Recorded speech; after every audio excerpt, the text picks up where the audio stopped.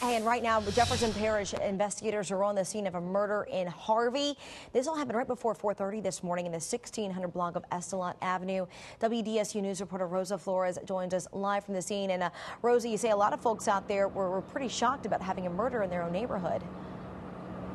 You know, they are. And uh, there was a vehicle that arrived a little while ago that appeared to be the family. Very, very emotional, of course, to learn about what has happened here. But let me tell you what we know, and let me show you the scene here because the coroner actually just drove off just seconds ago.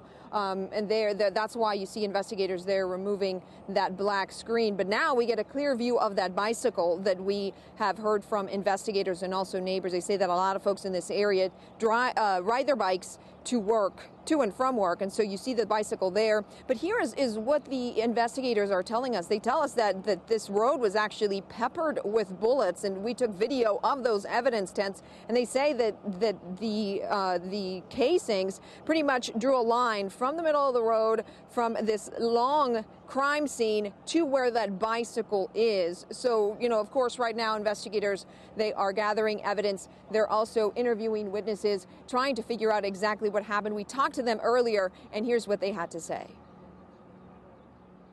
The man appears um, he had a construction vest on. You know those construction vests you wear, those orange, yellow construction vests, and he's riding a bicycle. So he was riding his bicycle, and, uh, and he was shot multiple times appears that he could have been headed to work. We don't know, though.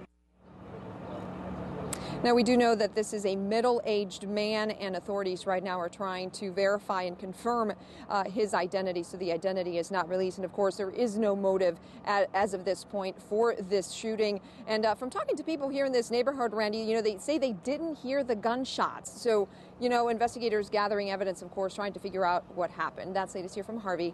Uh, I'm Rosa Flores for WDSU News. Randy, back to you. Rosa, thank you so much for that. A sad start to uh, your Thursday morning.